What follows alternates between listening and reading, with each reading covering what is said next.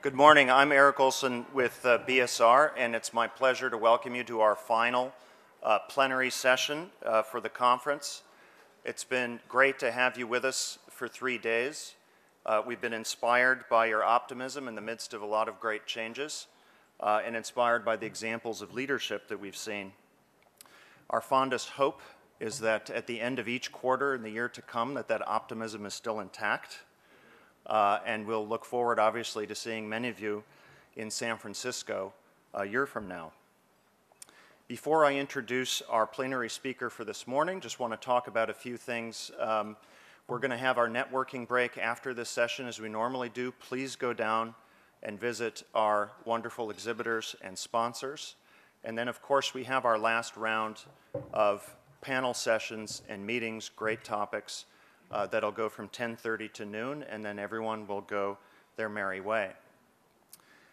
I want also, on behalf of BSR's management team, to thank uh, our conference staff. Uh, I've had some nice comments from many of you and said, well, what, where's the Army that puts this on? So I'm going to embarrass our lean and mean conference team one more time on behalf of the management team, Pamela, Kimberly, and Diane. There's, yes, there's only three. And thank you very much for all your work.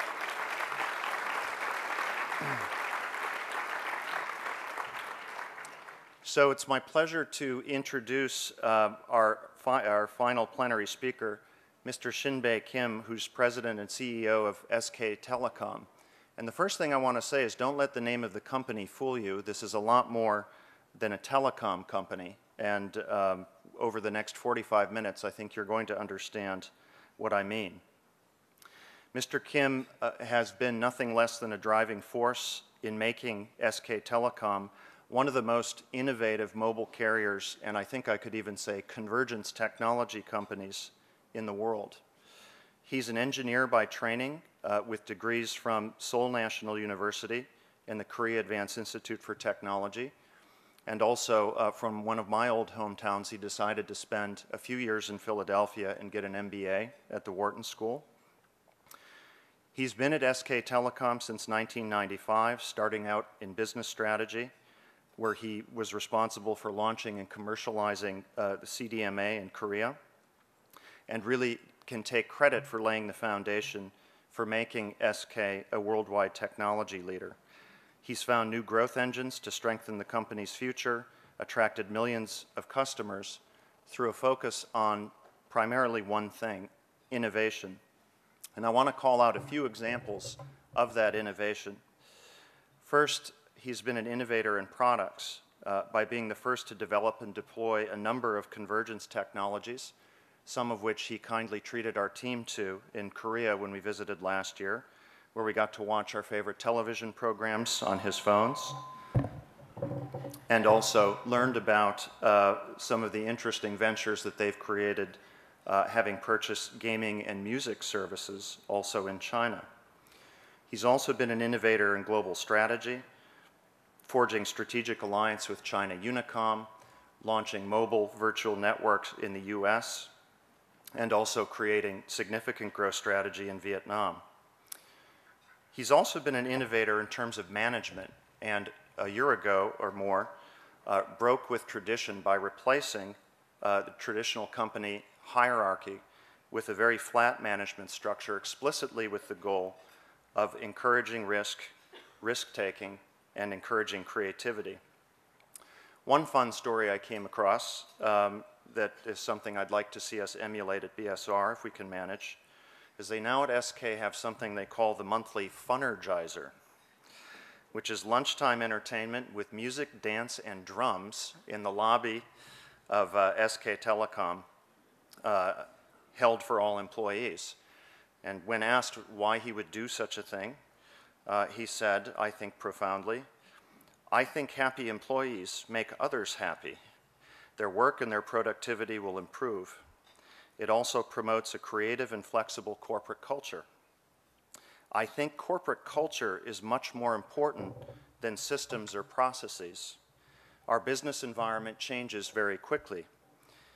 Once a system or a process is set up, then it is likely to become a shackle that makes it harder for us to change.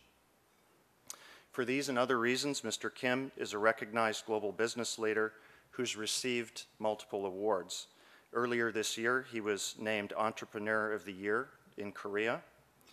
He received an Order of Civil Merit from the Korean president and has been honored also by the Vietnamese government for his commitment to active corporate citizenship. Please join me in welcoming Mr. Shin-Bae Kim.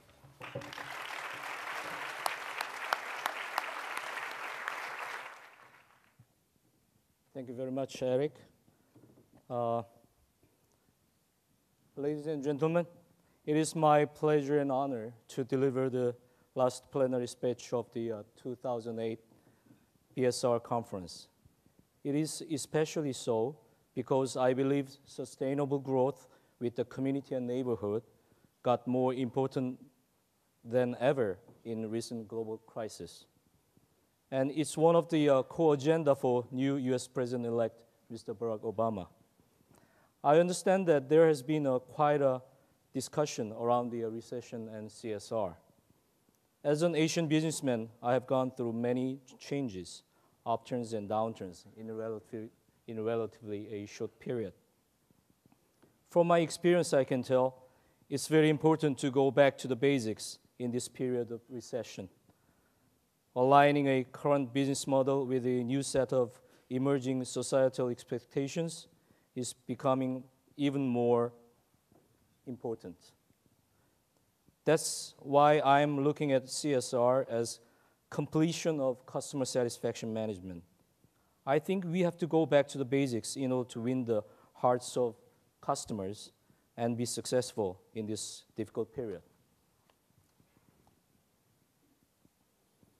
SK Telecom is uh, Korea's uh, leading telecommunication service provider and serves half the population. Today, I wish to share with you SK Telecom's philosophy and approach on social responsibility through business.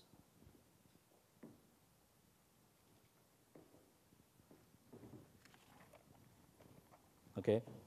People call Korean economic recovery from the ashes of Korean War in 1950 to have become the uh, 13th largest economy as the miracle by the Han River. But there are not many to recognize Korea has become the world IT powerhouse during the last 15 years. When I joined SK Telecom 13 years ago, none of our network equipments were Korean made, and all the mobile handsets were imported. At the time, the uh, Motorola handsets were almost the, uh, more than 90% uh, market share in Korea. Now, However, most of the equipments and handsets being used in Korea are Samsung, LG, or other Korean brands. It is not because Koreans are patriotic, but because foreign makers thought it's not economical to meet fast changing customer needs and innovation in a small market like Korea. Today, mobile penetration in Korea is 93%, all postpaid, and house, household penetration of broadband service is 92%, one third of which has 100 megabps data speed. The Korean IT market has made remarkable advances with its uh, unrivaled R&D activities, entrepreneurial spirits, the world's most advanced network infrastructure, and fierce competition to, to satisfy relentless consumer demands for impeccable service.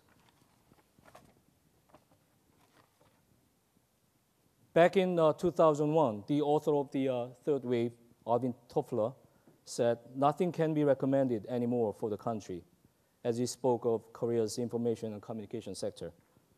More recently, Google CEO Eric Schmidt described Korea as a great laboratory of digital age. As these comments suggest, Korea is a very innovative and competitive IT market.